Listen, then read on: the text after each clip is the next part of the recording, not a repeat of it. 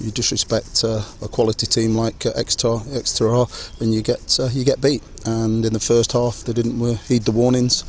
They didn't listen to what we said. They didn't uh, heed uh, the problems they could cause us if we didn't play with intensity, if we didn't close them down, if we didn't track runners.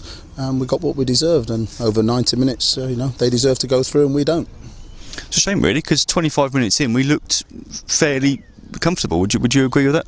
Reasonably comfortable, but you could see they they got too much time on the ball, too much composure.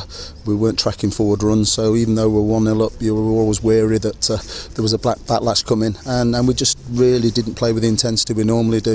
As I say, it was too easy for uh, for Exeter.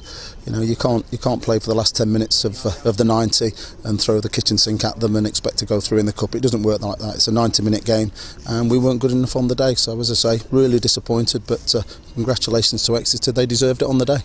I suppose at 3 1 in the second half, Exeter have got something to defend and hold on to. Managed to find a way through once, but not quite twice. No, you're clutching at straws. You know, we're, we're not here to make excuses. It wasn't good enough. As I say, the game lasted 95 minutes and they deserve to go through and we don't. So, what's the message to the players at full time? You expect a, a, a big response on Wednesday? There'll be changes because uh, that first half performance was totally unacceptable. And people have obviously got complacent think they're going to play every week but uh, there'll be changes there'll be different personnel there'll be people that need to wake up and uh, and improve and uh, we'll make sure they do. Is there any positives you can take from this one Paul? No we're out of the cup so there's no positives whatsoever.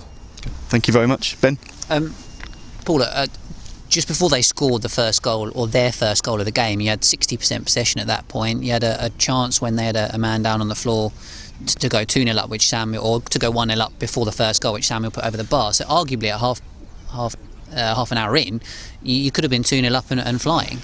Yeah, but we saw in the warm up there wasn't that there wasn't that real intensity, you know, in the boys, and they weren't they didn't look sharp, you know. And we warned them before the game. We you know we said to them even in you know in the dressing room before we went out, you know, don't be complacent. You know these can play. You know, we Gaffer went and saw them up at uh, up at Bradford, and they're a good side, and they could have won that day six two. You know, we, we showed them clips of of them beating Colchester six one, and what a good good team they were, what good players they've got out on the pitch, and uh, we just seemed a little bit like you know, lackluster. We didn't seem as sharp as we could be because if we'd have played like we did in the last 10 minutes, then you know with that intensity and with that power and that pace, you know, and running forward and running back, then uh, then we probably would have gone through. But as I say, I can't. You know, we can't make excuses. They were better than us on the day. Uh, they had more composure with the ball, and, and as I say, you know, I'd be making excuses if I said anything different.